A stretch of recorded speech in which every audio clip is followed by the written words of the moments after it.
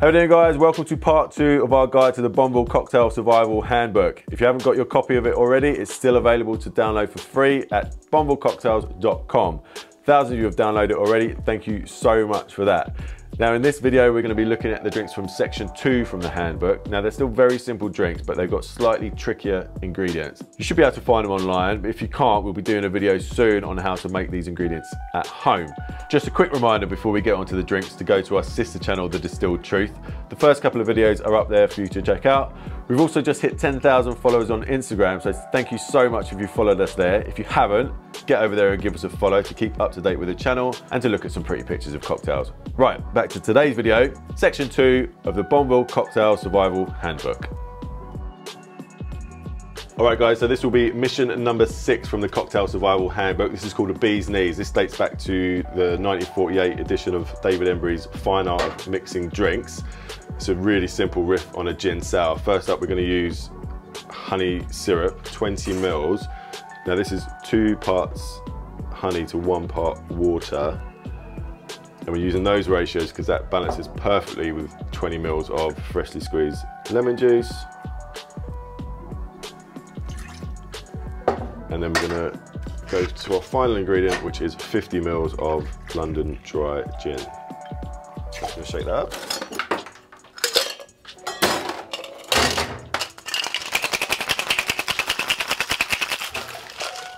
We'll fine strain that into a chilled cocktail glass.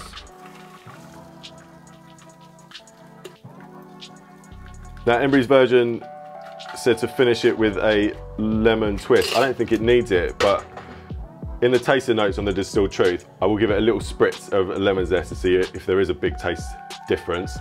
But I'm gonna leave it as it is for now. And that is a bee's knees. Mission number seven is going to be the whiskey sour. Don't forget, all drinks are going to have tasting notes over on the Distilled Truth. And thank you so much for all your kind comments over there. It's been really worthwhile doing. It's really inspired us to carry on doing those tasting notes. Right, back to the drinks. Whiskey sour shake and drink. Now, this cocktail gained massive popularity during Prohibition and it's gone on from strength to strength. This is one drink you really need to play around with the ratios to satisfy your own taste. But this is how we're gonna make it. We're gonna start off with 25 mils of freshly squeezed lemon juice, 15 mils of simple syrup, one pot sugar, one pot water, and then 50 mils of bourbon, Buffalo Trace we're using. And again, you know, depending on how sweet the bourbon is that you're using, or if you want to use a rye whiskey, you need to play around with those sugar lemon ratios to make sure you get it right. We are not going to shake it just yet. We're going to crack an egg, egg white into here and give it a quick dry shake. The whole egg white might be a little bit much. Um, you need about 20 mils at least. All right, as this drink's being served on the rocks, you could probably get away without a dry shake. And there's been a lot of chat recently about reverse dry shaking, and that's a whole nother story, and I'm happy to go into that on the Distilled Truth. But I'm just gonna do a straight dry shake and then we're gonna shake with ice after that.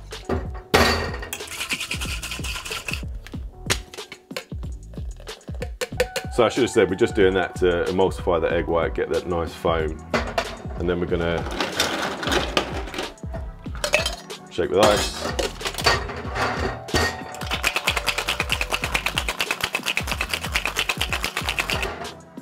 Okay, so we'll strain that into our frozen rocks glass.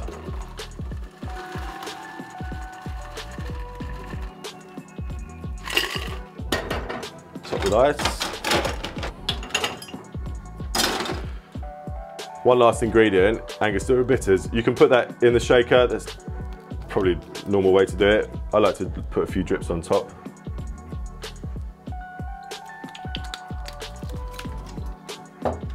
And then we're gonna finish off with a lemon wedge and maraschino cherry and that's a whiskey sour. All right guys, mission number eight, another one of the big dogs that doesn't need much introduction. We are gonna make a margarita, starting off with 20 mils of freshly squeezed lime juice. Followed by 20 mils of triple sec or Cointreau.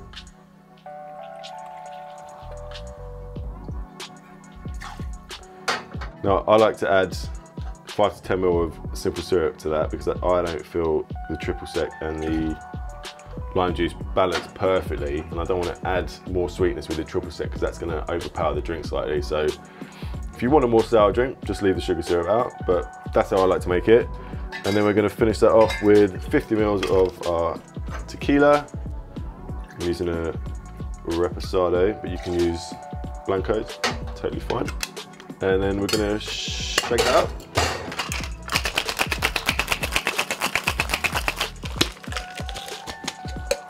Just gonna take that off the ice whilst I prepare the glass. Probably should have done that before, but so it doesn't dilute anymore, just gonna strain that out quickly. I'm gonna grab my glass from the freezer.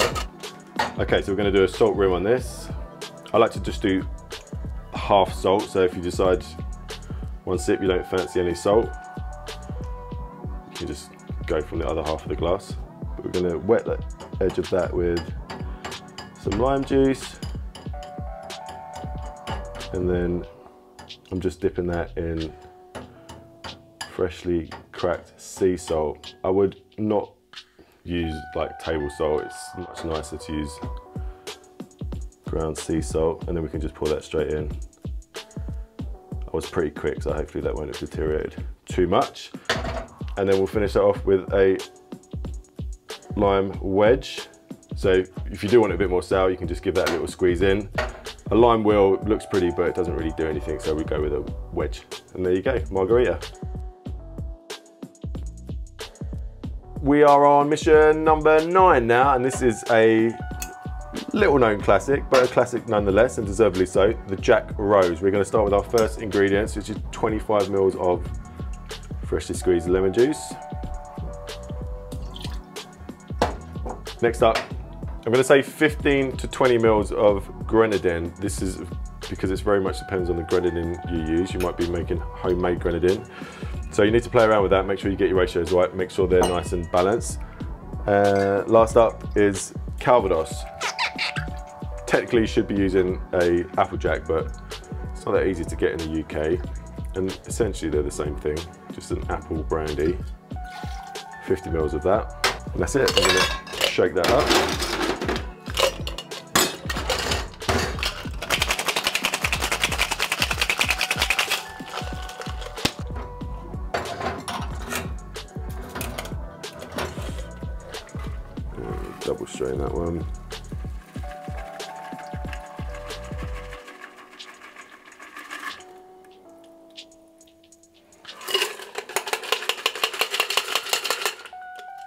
And again, I don't think there's any need for a garnish. You could garnish it with a lemon wedge if you wanted if, to squeeze it in if you want to balance that sweetness a bit more.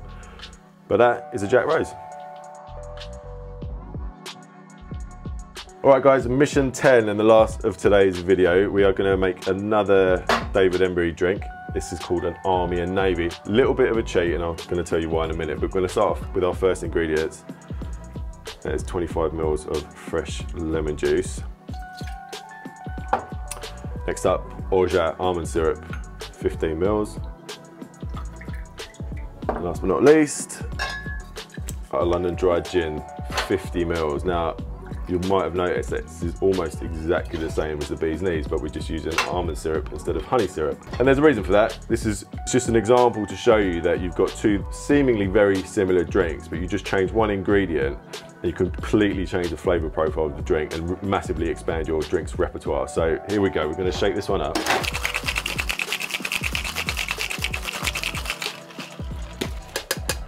You could have added Angostura bitters into this, but I think it, it doesn't need it. But again, in the tasting notes over on the Distilled Truth, we'll put a dash in and see how it tastes. And we'll fine strain that into our chilled cocktail glass.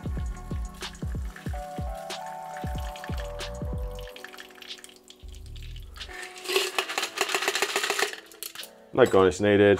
That's an Army and Navy. Hope you enjoyed that, guys. That was section two from our Bonneville Cocktail Survival Handbook. The tasting notes for which will be over on the Distilled Truth. Don't forget to like, subscribe, and share, and we'll see you soon for part three. Don't forget to check out the tasting notes on the distilled truth. All right, guys, mission number six from the Bonneville cocktail. Let's, what were we calling it again? So a big thanks to all uh, of, okay, our sister channel, The Distilled Truth. And so be, before we, we've also just hit 10,000 followers on Instagram. So, so thank you so much if you followed us there. If you haven't, go and give us a follow to keep up to date with the channel and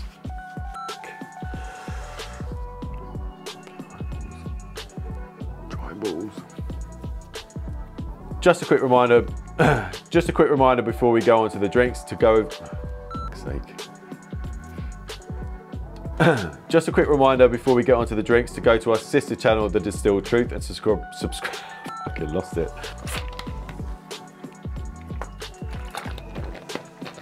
In this video, we're going to be in this. Thank you for that. How are we doing guys? Welcome to part two of our guide to the Bonneville cocktail collection. Cocktails. what was it again? Mixed guide. Section two of the Bonneville cocktail survival handbook. That's it. okay, so where am I going from?